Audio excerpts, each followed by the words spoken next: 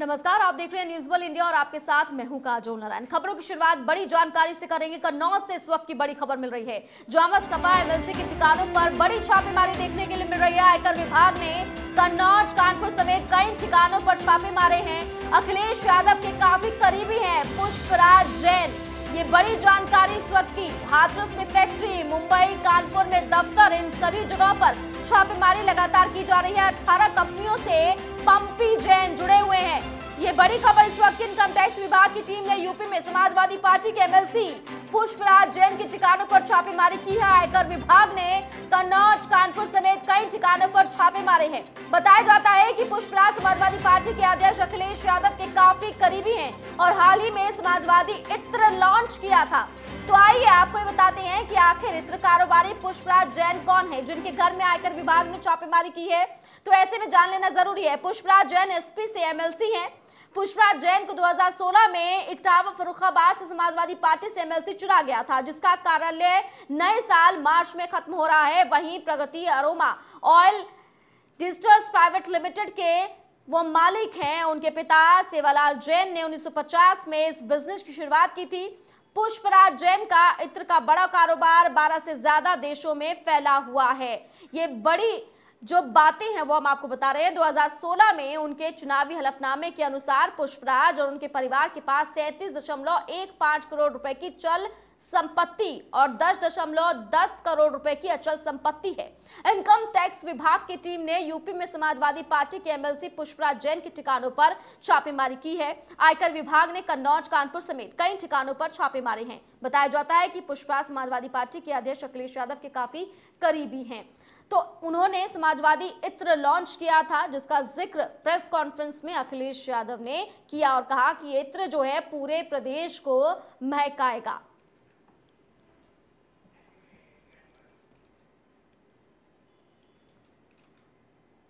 बाराबंकी में राज के पक्षी पर पुलिस कितना गंभीर है, ये तो एक वायरल वीडियो से साफ़ हो रहा है। ज़िले के असंद्रा थाना क्षेत्र के सिद्धबौर कस्बे में पूर्व चेयरमैन हकीम अली बादशाह के बेटे ने राजकीय पक्षी सारस का शिकार किया और घायल पक्षी को अपने साथ नाव में लेकर चले गए। वहाँ पर मौजूदा एक शख्स ने मामले का वीडियो बना लिया और सोशल मीडिया पर वायरल कर दिया। वहीं मामले में पुलिस की तरफ़ से कोई कार्रवाई ना किए जाने पर लोग आक्रोश में हैं।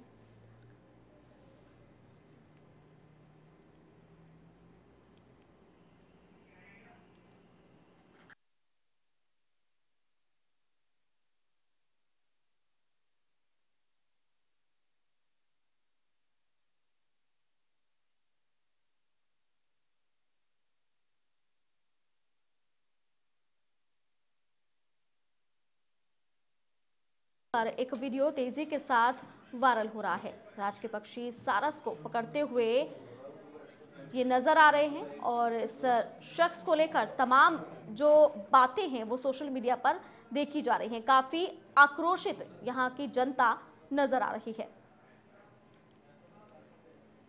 औरैया के अछलदा थाना क्षेत्र में प्रेमी प्रेमिका ने ट्रेन के आगे कूदकर खुदकुशी कर ली है, जिसके बाद स्थानीय लोगों ने मामले की सूचना पुलिस को दी।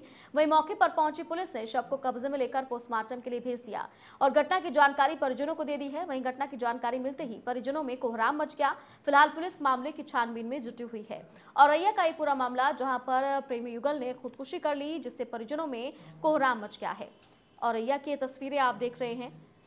हालाँकि वजह साफ़ नहीं हो पाई है। कि क्या वजह थी इसके पीछे, लेकिन बताया जा रहा है कि प्रेमी प्रेमिका ने ट्रेन के आगे कूद कर खुदकुशी कर ली, जिसके बाद स्थानीय लोगों ने मामले की सूचना पुलिस को दी।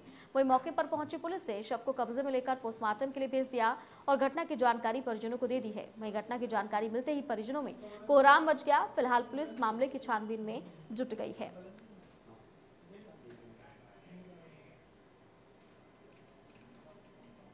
जालौन में अपना दल एस के प्रदेश अध्यक्ष जालौन पहुँचे, जहाँ पर उन्होंने आने वाले विधानसभा चुनाव को लेकर एक गेस्ट पार्टी के पदाधिकारी के साथ बैठक की। बैठक के दौरान उन्होंने कार्यकर्ताओं को पार्टी को मज़बूत करने का मूल मंत्र दिया। वहीं उन्होंने बताया कि आने वाले चुनाव को लेकर देश की कई पार्टियाँ यूपी में बड़ी बड़ी जनसभाएँ कर रही हैं और अपने कार्यकर्ताओं में जोश भर रही हैं। अपना दल बीजेपी की सहयोगी पार्टी है, वर्तमान में इस पार्टी के कई मंत्री, विधायक और एमएलसी हैं। हम उत्तर प्रदेश चुनाव को लेकर पूरी तैयारी कर रहे हैं और यूपी की कई सीटों पर चुनाव लड़ेंगे। पार्टी के पदाधिकारी लगातार जनसंपर्क कर रहे हैं। तो जालौन पहुँचे, प्रदेश अध्यक्ष पदाधिकारियों के साथ एक खास चर्चा की है। चर्चा के दौरान उन्होंने साफ़ तौर पर कहा है कि हम पूरी तरह से चुनाव लड़ने के लिए तैयार हैं। हम सभी सीटों पर चुनाव लड़ने की पूरी तैयारी पहले ही कर चुके हैं। दरअसल, जालौन में अपना दल एस के प्रदेश अध्यक्ष पहुँचे, जहाँ पर उन्होंने आने वाले विधानसभा चुनाव को लेकर एक गेस्ट पार्टी के पदाधिकारी के साथ बैठक की है। बैठक के दौरान उन्होंने कार्यकर्ताओं को पार्टी को मज़बूत करने का एक मूल मंत्र दिया। उन्होंने बताया कि आने वाले चुनाव को लेकर देश की कई पार्टियाँ यूपी में बड़ी बड़ी जनसभाएँ कर रही हैं और अपने कार्यकर्ताओं में जोश भर रही हैं। अपना दल बीजेपी की सहयोगी पार्टी है। वर्तमान में इस पार्टी के कई मंत्री, विधायक और एमएलसी हैं। उत्तर प्रदेश चुनाव को लेकर पूरी तैयारियाँ वो कर रहे हैं और यूपी की कई सीटों पर चुनाव लड़ेंगे वो। पार्टी के पदाधिकारी लगातार उनसे जम संपर्क बनाए हुए हैं।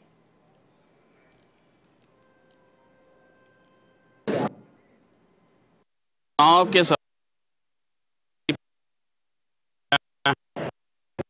अपने संगठन के लिए जा रही हैं कार्यकर्ताओं में जोश भरने का।